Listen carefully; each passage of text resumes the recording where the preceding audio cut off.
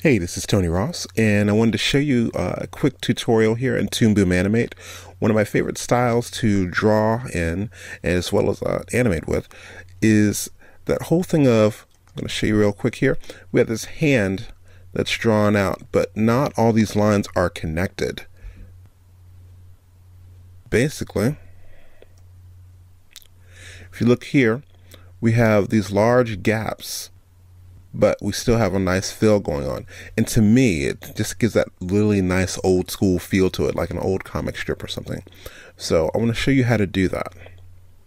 Okay, let's go ahead to Toon Boom here.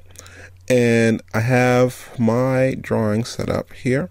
Uh, I've got frame one and frame two of the hand. So what I want to do is let's go ahead and zoom in here.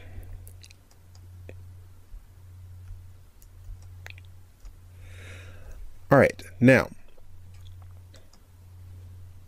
what I'm looking at is we've got all these large spaces here. I haven't even connected anything and flattened this at all. These are all these separate little drawings, but none of that's really going to matter here. Okay, grab our paint bucket. Um, got the nice color I want to use for the fill. And I'm going to first attempt to try to fill in here and it's not seeming to work. And you might be thinking, okay, well, what if we said we'll close large gaps? That'll work, right? Uh, that's a pretty large gap. And what about small gaps? Okay, so none of that's working.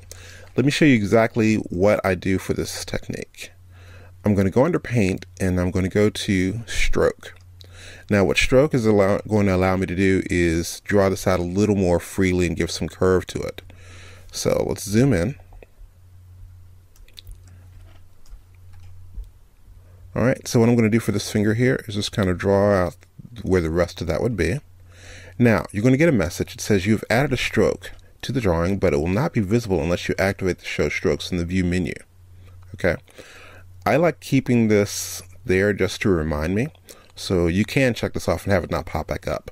But we just drew a stroke, we don't see it. The quick key to actually see that is simply press the letter K. Okay, so now we see where all those lines are and the invisible line we just drew. Okay, so I'm going to draw another one to close that off and one here to close that off. Okay, now let's go up to the top and let's draw the last one to close this section off.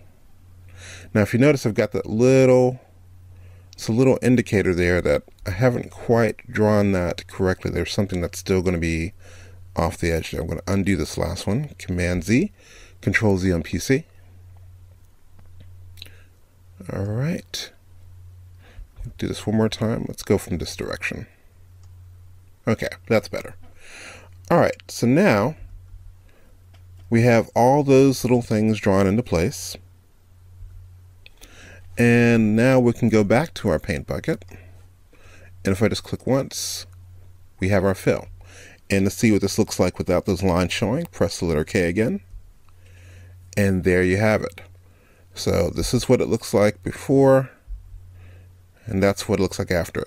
And we got these nice, beautiful curved lines here. And everything's closed off. So I hope this has been helpful. This has been Tony Ross for Tony Teach. And have a good one.